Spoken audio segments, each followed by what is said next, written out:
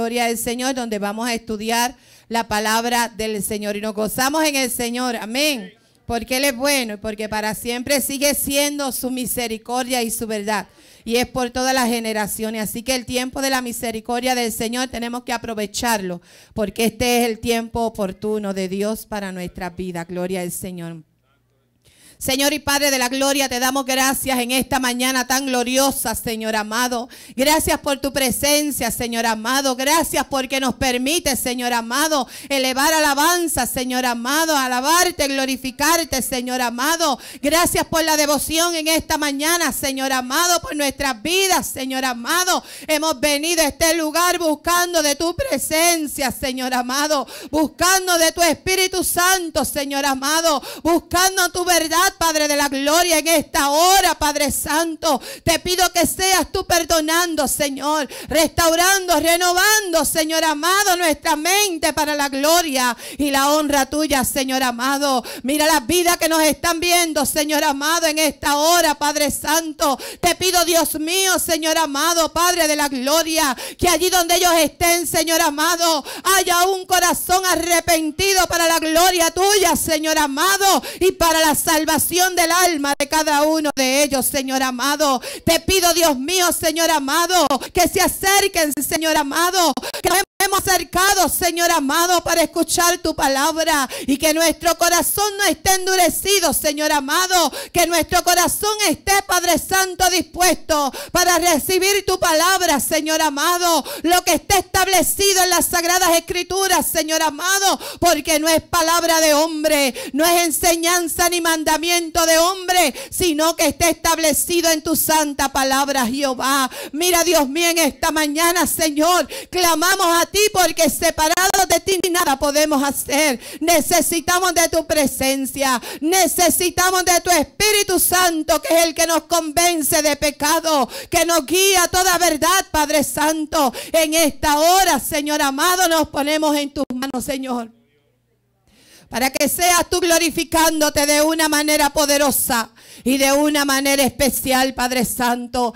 Gracias te doy, Señor amado. Gracias por el hermano José, Señor amado, Padre de la gloria. Bendícele de una manera poderosa, Padre Santo. Te pido, Señor amado, por su suegra Benita, Señor amado. Te pido en esta hora, Señor amado, que seas tú poniendo tu mano de salud, Padre Santo. Oh Dios mío, Padre de la gloria, por las llagas de Jesucristo, Señor, hay promesa de salud, Padre Santo. Hay promesa de sanidad, mi Dios amado Jehová. Te piden esta hora, Señor amado, que haya, Señor amado, Padre Santo, sanidad tanto en el ser espiritual, Padre Santo, como en lo físico, Señor, en el cuerpo, mi Dios amado. Pon tu mano, Señor amado, sana, Señor amado, y salva, Padre Santo, Jehová. Oh Dios mío, no permita, Señor amado, oh Padre Santo, Dios mío, que el enemigo tome ventaja Señor, en medio de la condición, Señor. Te pido que seas tú el que te glorifique, Señor, para la gloria tuya, Señor amado. Gracias te doy en esta mañana, Señor. Mira cada vida, Señor amado. Necesitamos de tu presencia, Señor. Te pido que tú te glorifiques, Señor amado, y que sea el poder de tu Espíritu Santo, Jehová, obrando de una manera poderosa, Señor amado. Que esta tu palabra que vamos a estar estudiando en esta mañana, Señor amado haga en nuestras vidas todo aquello para la cual le enviaste, Señor amado. Que nos ayude, Señor amado, que te glorifiques, Señor amado, y que podamos entenderla, Señor amado. Que podamos, Señor amado, llevarla a nuestro ser interno, Señor amado, y aplicarla para la gloria tuya, Señor amado. Gracias te doy, Señor amado. Bendice tu palabra en esta mañana, Señor amado, y háblanos, ministranos, Señor amado, y haz tu obra, Señor, a través de ella en nuestras vidas, Señor. A ti te doy gracias, Señor amado. Te doy gloria y te doy honra, Señor. En el nombre de Jesús yo he orado creyendo, mi Dios amado, para la gloria tuya, Señor amado. Amén, amén. Gloria al nombre del Señor. Aleluya. Bueno es el Señor. Aleluya. Gloria al nombre de Jehová. Dios es bueno y maravilloso es el nombre del Señor. Verdaderamente que cuando el Señor está en medio de los asuntos, gloria al Señor. No hay nada que nos pueda apartar, del amor de nuestro Padre Celestial. Gloria al nombre del Señor. Les pedí que se sentaran, ¿verdad? Pero quédense sentados, es que estamos tratando un estudio, ¿verdad? Un tema. Eh, continuar y no quisiera, ¿verdad?, leer otro pasaje. Quiero mantenerme en el mismo pasaje con el que comenzamos este estudio el domingo pasado. Gloria al nombre del Señor. Porque esto tenemos que tener bien claro que hay unos pasos que nosotros tenemos que seguir para que nosotros, y están establecidos por Dios en las Sagradas Escrituras, para que nosotros podamos alcanzar la salvación de nuestra alma. Yo entiendo que aquel amado hermano que se acerca a las iglesias cristianas debería estar buscando la salvación para su alma. No el entretenimiento, no el que sentirse agradable, ni agradado, ni aceptado, no. Venimos a la casa del Señor porque esto es puerta, amén, al cielo. Y esto nos da entrada, ¿verdad?, a ser parte del reino de los cielos. Así que, amado hermano, son unos pasos establecidos por el Señor en las Sagradas Escrituras. Y comenzamos la semana pasada hablando y nos vamos a quedar enfocados en Hechos capítulo 2, verso 38, donde el apóstol Pedro comenzó a predicar luego del bautismo del Espíritu Santo, la gloria del Señor. Y él decía, amado hermano, arrepentíos y bautícese cada uno de vosotros en el nombre de Jesucristo para perdón de los pecados y recibiréis el don del Espíritu Santo. Fíjese, amado hermano, los pasos a seguir. Gloria al nombre del Señor. Que de una manera detallada y rápida yo voy a decirlo, gloria al Señor. Si no hay arrepentimiento, si no hay una muerte al pecado, no debemos pasar por el proceso de bautismo, que es una promesa donde entramos en un compromiso con nuestro Padre Celestial de haberle dado muerte al pecado. Y cuando nosotros pasamos por todo este proceso es que recibimos el don del Espíritu Santo de Dios en nuestra vida. No puede pasarse por alto un paso. No podemos, amado hermano, estar corriendo. Hoy día la gente corre sin haber dado el primer paso. No se sabe dar el primer paso porque en el primer paso le damos muerte al yo. A lo que a mí me gusta, como a mí me gusta, cuando a mí me gusta, donde a mí me gusta. Amén. Y esto, amado hermano, tenemos nosotros que entenderlo bien claro. Habíamos hablado bien claro que de este primer paso depende la fidelidad, integridad, el permanecer y prevalecer en los caminos del Señor con firmeza y estabilidad. La gloria es de nuestro Padre Celestial. Y así que, amado hermano, así como Cristo también lo predicó en Mateo 4:17 y Juan el Bautista, lo primero que se predica es el arrepentimiento de pecado para el perdón. Amén. Así que, amado hermano, arrepentidos, dijo el Señor, porque el reino de los cielos se ha acercado. Y muchos hemos sido llamados, pero de todos los que hemos sido llamados, muy pocos van a ser escogidos. Porque fuimos predestinados y es, un, es una de las enseñanzas que nosotros leímos en la semana pasada en, en Efesios capítulo 1. Fuimos predestinados desde antes de la fundación del mundo para que fuésemos sin mancha e irreprensibles delante, santos, delante de nuestro Señor. Así que, amado hermano, hablamos de la parábola de la fiesta de bodas, donde se envió la invitación y, realmente de lo que nos está hablando esa parábola, primeramente la invitación fue para el pueblo de Israel. Y como en Juan 1.11 dice que a los suyos él vino y los suyos no le recibieron, el verso 12 nos dice bien claro, más a todos los que le recibieron, le dio potestad de ser hechos hijos de Dios. Y ese es el Espíritu Santo, amado hermano, que recibimos cuando hemos por el proceso del arrepentimiento, el bautismo en agua donde nos comprometemos a vivir una vida separada del pecado para Dios y es que recibimos el don, el regalo de Dios a nuestra vida que es el Espíritu Santo. Así que mire mi amado hermano, nosotros vamos a ir estudiando esto con mucha calma. Porque a la ligera se predica, amado hermano, y a la ligera le dicen a la gente que ya tú tienes el Espíritu Santo en tu corazón morando. Y le dicen así a la gente que aún anda en pecado y en desobediencia al Dios Padre. Pero esto es un regalo, el Espíritu Santo es el ser más sensible, más importante para nuestro Padre Celestial. Fíjese que nosotros, amado hermano, tenemos perdón de todo pecado menos de la blasfemia contra el Espíritu Santo. Así que Dios no no va a depositar ese ser tan especial de su Espíritu Santo en corazones que realmente no están limpios ni están separados del pecado, porque es el Espíritu mismo de Dios Padre, gloria al nombre del Señor. Y en Isaías 57, 15 nos dice que Él habita en la altura, en la santidad, con el quebrantado y humilde de espíritu para vivificar los corazones. Así que, amado hermano, vivir los vivifica a través de su Espíritu Santo cuando recibimos la vida de Dios en nosotros, la gloria del Señor. Y como nos habla en Efesios capítulo 4, hay mucha gente que está ajena de la vida de Dios por la ignorancia que en ellos hay y por la dureza de su corazón. ¿Por qué, amado hermano? Porque se está predicando la verdad de la palabra. Está establecida en las sagradas escrituras la verdad de la palabra, pero la gente, al igual que el pueblo de Israel, la está despreciando. Y acuérdense que los fariseos y los escribas interpretaban la ley, enseñaban la ley y velaban que la gente eh, cumpliera, andar en obediencia a la ley establecida por Dios, pero ellos no querían aceptar a Cristo.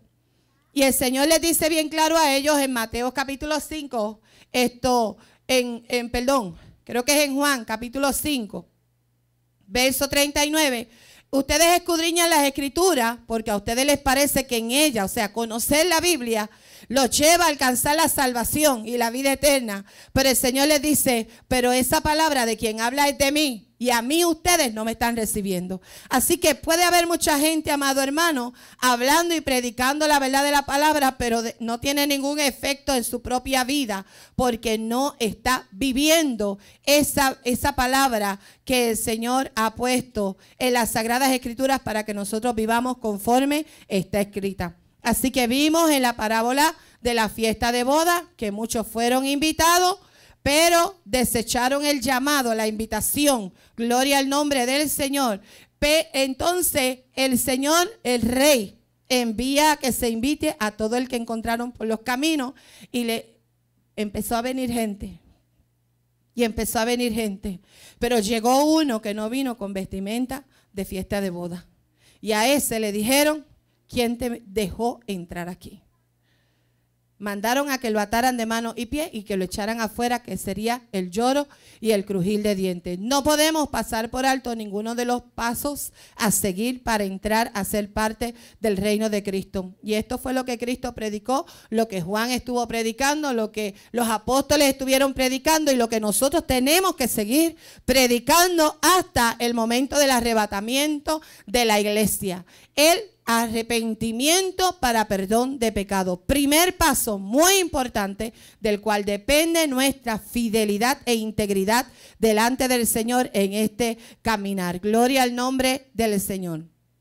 Este llamado exige, amado hermano, que nos presentemos con las vestiduras blancas y sin mancha y sin arruga. Es un llamado que muchos han estado despreciando, porque hoy se le enseña a la gente que no le importa al Señor tu condición, que Dios te puede usar en la condición que tú estés. Eso es como darle un vaso roto a una persona y decirle, échate agua y bebe, no importa que tenga un roto y esté quebrado.